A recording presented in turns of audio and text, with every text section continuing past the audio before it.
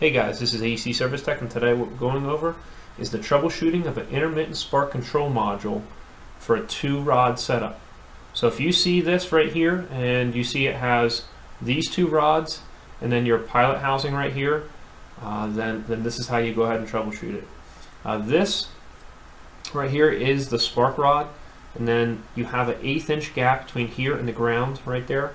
You can check it with an eighth inch screwdriver this right here is actually the flame sensor.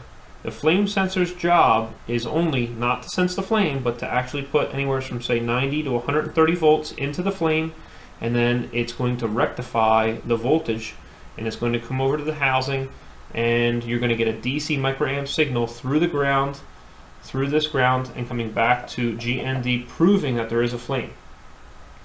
The spark rod's job is just to send voltage across and ignite the flame. Alright, so this will be a two rod setup and that's a little different from another video I did with a Honeywell control uh, with a single rod. It was a uh, flame sensor and spark igniter all in one. Alright, so what you have is to turn this module on, you need 24 volt hot at TH and a common on TR, which is also usually connected to the ground circuit. This GND this TR and the MVPV are connected to the common for the 24 volts and the ground. And if you were to look, you know, take this uh, plastic uh, box off, these three are all connected right on the board. There's nothing in between them. So this is the common. The PVMV, that's the common. So the second we get 24 volts in the TH and the TR, we should have 24 volts coming off the PV and the common to, to check for voltage is the PVMV. So you're sending voltage to the pilot valve, allowing gas to flow through the pilot valve on the gas valve. It's going to allow gas to flow through. At the same time, you're going to send high voltage off of this wire right here, which is the spark wire, coming to the spark rod. So we're going to go ahead and uh, turn this thing on and we're going to see that happen. We're going to see the 24 volts on the PV right here. We got an alligator clip to the multimeter and the PVMV, you know, as a common, as the path back. And we'll see our 24 volts here. So we're going to go ahead and turn this on. Alright, so you see the spark right here, and we have 27 volts between PV and PVMV. It's actually going to end up hitting a lockout. So if it doesn't light within a specified period of time, around about a minute and a half, it's going to end up shutting off the spark and the 27 volts going to the pilot valve. Alright, so there you see that the voltage stop to the PV and the PVMV at the same time that the voltage stopped, the sparker had stopped. Alright, so it has that roughly 90 second um, lockout this way, if the sparker were to fail, you know, the board were to fail, it's not going to continue to send gas through the pilot tube. If, say, like the pilot head is, is worn and the gas is not uh, close enough to the sparker to ignite, or maybe it's not even sparking, you know, maybe this gap has opened up and maybe it's sparking over here internally or, or something like that. So basically, it has that lockout to protect against continual gas flow out the pilot housing. So now we see that we're sparking again. I just unplugged the module and I plugged it back in. And we now have 24 volts between PV and PVMV. What we did is we switched our alligator clips to the PVMV and now to the MV instead, the main valve. So what I'm going to do is I'm going to go ahead and have the flame go across there and we're going to see if we get 24 volts reading on MV to PVMV.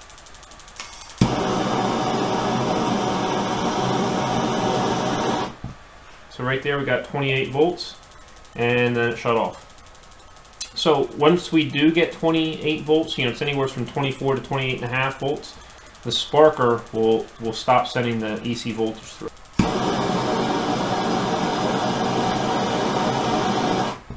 Okay, so we got 28 volts again. What that's doing is it's proving that there's a flame. The flame that I'm putting across here is going from the flame sensor, which is this rod right here. It's going to the pilot housing, all right?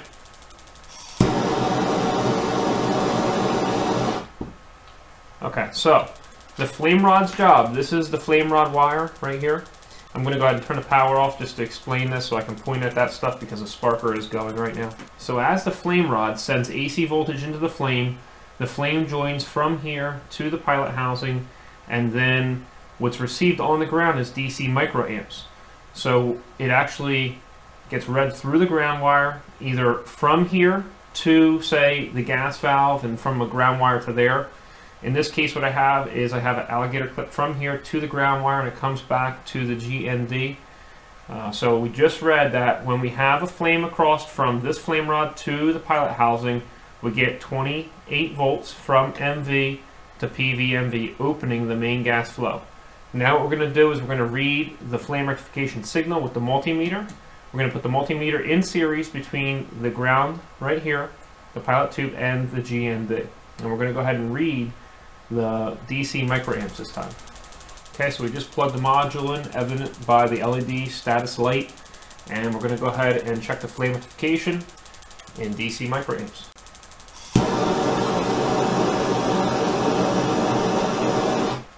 So you see we were reading 1.6 DC microamps right here. I'll do it again.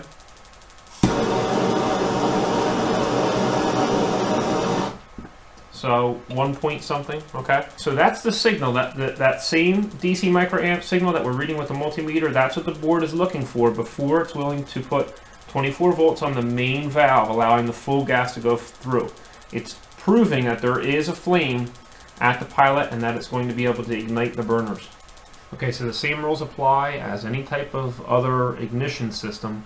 Basically, the one thing for the spark, you want to make sure you have roughly right about an eighth inch gap. And right now we have the power off okay? Um, the flame rod you see this flame rod actually spins around uh, but you want to make sure that that flame rod is enveloped in the flame okay? Make sure it's engulfed basically inside the flame and you want to make sure that not only the sparker but also the flame rod is clean you can do that with fine coarse unsoaped steel wool and then you want to also make sure that that pilot housing is clean. I usually wrap this in a, in a flathead screwdriver and then I come in here and clean it all out. Okay, I clean all this, uh, make sure that that's all done, and then I just blow it out after I'm finished. You want to make sure that you don't have any steel wool uh, fragments falling into uh, the pilot orifice inside here. There's a tiny little hole uh, that allows the gas to flow through. Make sure that that's nice and clean. Um, and there's several things that you want to do um, just for troubleshooting and, and this is more of a preventative maintenance but if you were to have a spark and say you have a pilot that's lit and you just are not powering the main valve, uh, you want to make sure that this uh, flame rod is immersed in the flame. If you check your DC microamps right here and this control board is not allowing the MV to get powered and you do have some type of uh, DC microamp signal, say above one DC microamp, then the board is the culprit. Okay. Um, if, for instance, a pilot is not getting lit, you you want to check to see, make sure you have a good spark gap, make sure you have good gas pressure, uh, make sure that this orifice in here is not clogged, and you want to see if you can get that pilot lit. Most of the time, you can adjust the pilot flame on the gas valve. There's actually a pilot adjustment. So if you think that this pilot is not engulfing this flame rod right here, then you can adjust the pressure to be higher. Uh, sometimes you have this uh, pilot head is, is kind of worn back and kind of bent out of shape just due to the heat over time. Um, so you just want to make sure that you do have a nice gap uh, here and not too spread apart. As long as you have your 24 volts coming in and your TR common coming out, you should have your 24 volts between PV and PVMV. You should also have a spark. You want to make sure and see that there's no cuts in this wire going to the flame rod because if you don't have a spark here and you're still hearing the spark, it might actually be sparking maybe internally or against the cabinet. Wherever it can find the uh, say path of least resistance, you know, which would be a shorter gap between uh, the high voltage wire and part of the metal frame, it's going to take that route. Make sure you have a good ground right here, this ground wire. It's crucial uh, to make sure that you have this wire. A lot of times it's attached to the gas valve uh, with a spade connector. Uh, you want to make sure that you have a good path back to the GND. But once again, you can check that with your multimeter and you can check it even back here by pulling this spade connector off and taking your DC microamp reading from the board to this uh, ground wire. Okay, so that tells you that you would have you have a good ground. Okay, and that just is taking another thing out of play with this. Okay, so what we did here is we put the alligator clip back from the GND right there back onto the pilot tube, so it has a good ground. Now we're going to go ahead and check the sense. Okay, so we're going to go ahead and check between the sense and the ground. You see we have 125 volts. All right, that's what will be going on the flame rod.